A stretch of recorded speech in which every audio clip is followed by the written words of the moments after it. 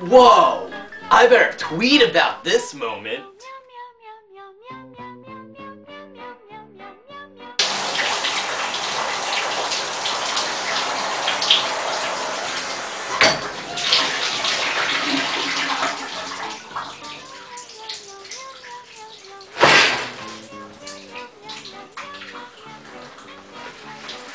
Twitter, you're such a creeper.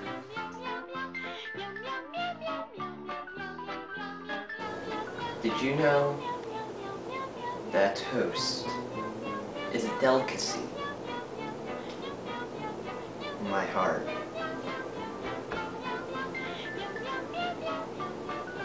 Mmm. Twitter's gonna love this. Gonna eat it right up.